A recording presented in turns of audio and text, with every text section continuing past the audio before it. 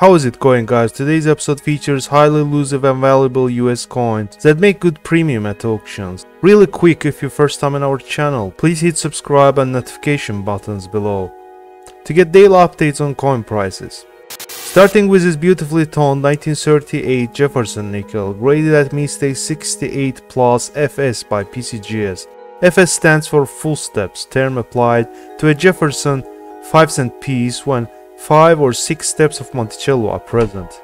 This first year Denver issue is highly sought after in high grade, but full steps examples are scarce, finer than MS66 and rare in MS68. This is a sole Plus graded MS68 full steps coin at PCGS, making it the single finest certified at the service. Pristine lustrous surfaces yield dusky amber gold toning with iridescent wisps throughout. Delineation of 5 steps visible under close inspection. This splendid gem was sold for $33,600 on July 15, 2022. Here is a pretty cool looking error coin, 1971 S Eisenhower dollar, overstruck on a San Francisco Assay Office medal. I'm sure most of you know how Eisenhower dollar looks like, but this is appearance of aforementioned San Francisco medal. A bronze San Francisco Assay Office medal was used as a host for this rare off-metal Eisenhower dollar. Much of the undertype is evident including the Department of Treasury 1789 on obverse and CAL on the reverse, west of the lowered wing. The orange, red and lilac color is pleasing and comprehensive. The host was slightly less in diameter than an Ike dollar, demonstrated by outward metal flow on In God We Trust and United, likely a unique copper Ike of nearly full diameter and highly desirable as such. Moving on to this 1914D Lincoln cent at mint state 66 red. The 1914D is one of the premier keys to the Lincoln cent series, boasting one of the lowest mint rates in the set with less than 1.2 million coins struck. In fact, this early Denver Mint issue is considerably more challenging in high grades than more famous 1909 SVDB. The most mint state survivors show up in MS63 and MS64 in the brown and red and brown categories. Fully red coins are much scarcer, only a dozen are graded MS66 red at PCGS and NGC combined, with non-numerically finer. This strongly struck premium gem features bold detail on Lincoln's hair and beard.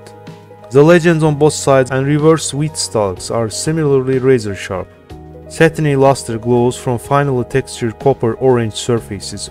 Only a few microscopic carbon spots are noted. Sold on August 24, 2022 for $72,000 at Heritage Auctions. Another Jefferson Nickel 1964 D5 cent was repunched mint mark error. Grade at mint state 66 with FS 501 designation by PCGS. PCGS has only attributed 8 examples of cherry pickers variety, which shows the mint mark repunch south. The repunching is clear with a loop, but may escape detection by unaided eye. This representative is tied with one other as the finest FS 501 coin at PCGS. Each side is brilliant and satiny with slight reflectivity dis discerned in the fields. A few tiny marks are not bothersome. Although the steps of Monticello exhibit typical softness, this coin is otherwise well struck and pleasing. Sold on July 14, 2022 for $19,800. Here is 1969's Lincoln cent with double die obverse, graded at mint state 64 with FS 101 designation by PCGS. The die doubling is not quite as dramatic as it is on the 1955 double die cent, but 1969's variety is significantly rarer. Whatever the true survival rate, the 1969's double die cent is undeniably rare in all grades and full red examples are without objection. The most difficult to acquire. PCGS and NGC combined list only a dozen red grading events. This near gem red example is within the condition census of known examples. A sharp strike complements satiny copper orange luster, while a few flecks and minor marks serve as pedigree markers. Eye appeal is excellent. Sold on May 5, 2022 for $49,200 at Heritage Auctions. This is 1968 proof Roosevelt dime at PR68 cameo condition. What makes this coin valuable and rare is the absence of mint mark S denoting San Francisco Mint. San Francisco Mint took over a proof set production in 1968 after conclusion of special mint set experiment from 1965 to 1967. However, unlike the SMS coins, proof coins of 1968 were produced with mint marked dies. Thus, it's an error that some dimes were struck with the dies that lacked the appropriate S mint mark, which should have been applied at the engraving department in Philadelphia before the die was shipped to the West Coast. Each side is pristine and starkly contrasted, yielding bright white on black contrast. Sold on July 14, 2022 for $22,200. I'm sure you'll like this one, 1937D Buffalo Nickel at mint state 66, a very rare three-legged buffalo variety. The three-legged buffalo nickel is definitely a coin variety with the potential of capturing attention and aspirations of many collectors. 1937D three-legged buffalo nickel was created by a clashing of dies without the blank planchet between the obverse and reverse dies. After the dies clashed, inexperienced mint employee by the name Mr. Young used an emery stick to try and polish off the clashing evidence instead of switching the dies which would have been more appropriate procedure. Due to the over-polishing of the dies, Mr. Young accidentally removed the details of the bison's front right leg from the reverse die. Therefore, any coin struck from the dies will be missing one of the bison's legs on the reverse design. This is how three-leg buffalo nickel came into existence. The current offering must be among the most eye-appealing of those coins, Lovely mint luster flows over amber olive surfaces that only show a single minor abrasion just below the Indian's hairline. Sold on August 24, 2022 for $30,000 at Heritage Auctions. I'm sure some of you clicked this video after seeing this relatively modern penny on a thumbnail. Presenting you 2001D Lincoln cent muled with Roosevelt dime reverse. Grade at mint state 65 red by PCGS. In numismatics, a mule is a coin or medal minted with obverse and reverse designs not normally seen on the same piece. This can be intentional or produced by an error. It mostly happens in those cases when coins have slightly different or same sizes, like penny and dime. Among the many mule possibilities in American numismatics, the Lincoln cent Roosevelt dime mule is most likely to occur.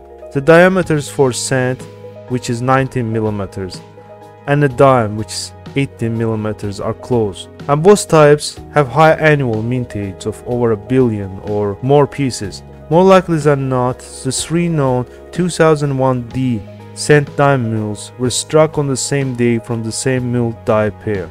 On the present coin, the dime reverse has a broad rim with the three concentric levels. The inner and outer levels are raised, and the middle level is recessed. The wider rim on the reverse is due to the narrow diameter of the dime die. We trust is faint as in the first L in Liberty. The Lincoln bust truncation shows incompleteness of strike. These characteristics are also due to the smaller dime die. Sold on August 24, 2022 for $66,000 at Heritage Auctions. Here's another error Eisenhower dollar 1972 S dollar double struck both strikes off center. An off center coin is produced when the coin is struck albeit off center. Unlike a broad strike, the punch is not in the center of a coin but rather the edge. This results in a coin which is not in circular shape. In this proof coin, both strikes are approximately 10% off center toward 5 o'clock most of the legends are present, though the bottom of the 972 in the date, the top of Y in Liberty and the tops of America are absent. Evidence of the first strike is ample, since generous portions of Liberty and $1 remain from both strikes. The second strike was slightly south of the first strike relative to obverse.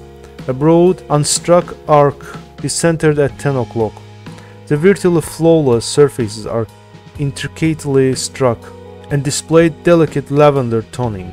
Sold on August 24, 2022 for $13,800 at Heritage Auctions. Thanks for watching guys, if you liked this video please hit thumbs up and subscription buttons below this video. Have a good one.